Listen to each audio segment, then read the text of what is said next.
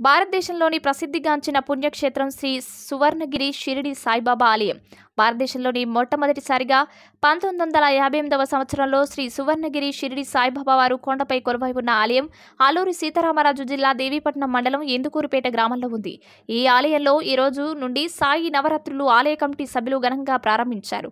ఆలయ అర్చకులు బాబావారికి కుంకుమార్చన అభిషేకాలు నిర్వహించి ప్రత్యేక పూజా కార్యక్రమాలు చేశారు. అనంతరం ఆలయ కమిటీ వారు అన్నదాన కార్యక్రమం నిర్వహించారు. ఈ ప్రముఖ పుణ్యక్షేత్రానికి రెండు తెలుగు రాష్ట్రాల నుండి భక్తులు వచ్చి బాబావారికి దర్శించుకున్నారు. ఆలయ కమిటీ వారు మాట్లాడుతూ సాయి నవరాత్రి మహోత్సవాలు తొమ్మిది రోజుల పాటు నిర్వహిస్తున్నామని తెలిపారు. ఈరోజు నవరాత్రోత్సవాలు ప్రారంభం చేయడం జరిగింది. మనకి శ్రీపాద శ్రీవల్లభ నృసింహ సరస్వతి స్వరూపంగా గురు పరంపరలో ఒక్కరిగా బాబావారిని ఆరాధన చేస్తూ ఉన్నాము. దీనికి గాను వాసుదేవానంద సరస్వతి అనేటువంటి మహానుభావుడు ఆయన అవధూత తత్వాన్ని ప్రతిష్టాపన చేసినటువంటి మరలా ఈ భూమి మీద అవధూత తత్వాన్ని అందరికీ కూడా ఒకసారి గుర్తు చేసినటువంటి మహానుభావుడు అపర దత్తావతారంగా ఆయన్ని ఖ్యాతి చేస్తూ ఉంటారు. అటువంటి వాసుదేవానంద సరస్వతి గారు గురు చరిత్ర అనే గ్రంథాన్ని ఆయన సంకలనం చేశారు.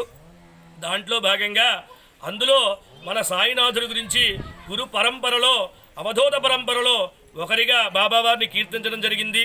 అందుకోసం అవధూత సంప్రదాయాన్ని అనుసరిస్తూ ఈరోజు శ్రీపాద వల్లభ నృసింహ సరస్వతి గురు దత్తాత్రేయ స్వరూపంగా మన బాబావారిని దత్తాత్రేయ విధానంగా అర్చన చేయడం జరిగింది. ఈ విధంగా ప్రతిరోజు కూడా ఒక్కొక్క రకమైనటువంటి ఆ వారాన్ని అనుసరించి దేవతారాధన చేయడం ఓం శ్రీ సాయిరాం శ్రీ సువర్ణగిరి షిరిడి సాయి క్షేత్రం ఇందుకూరుపేట వద్ద కొండపై కొలువై ఉన్న శ్రీ సువర్ణగిరి షిరిడి సాయిబాబా క్షేత్రం నవరాత్రి మహోత్సవములు ఈరోజు ఉదయం ఆరు గంటల నుంచి ప్రారంభమైనాయి. అదేవిధంగా తొమ్మిది రోజులు అత్యంత వైభవంగా డైలీ పూజలు అన్నీ జరుగుతాయి. ఈ పూజలో పాల్గొనే భక్తులు ఎవరన్నా ఉంటే ఈ తొమ్మిది రోజుల్లో ఏదో రోజు పూజలు చేయించుకోవచ్చు. అదే అనంతరం తర్వాత పదహారో తారీఖుని అత్యంత ఘనమైన బ్రహ్మాండమైన అన్నసంతర్పణ జరపడను ఆ యొక్క కార్యక్రమాన్ని కూడా ప్రతి ఒక్కరు ఇచ్చేసి ఆ బాబావారి యొక్క తీర్థ ప్రసాదములు తీసుకుంటారని కోరి ప్రార్థిస్తున్నాం.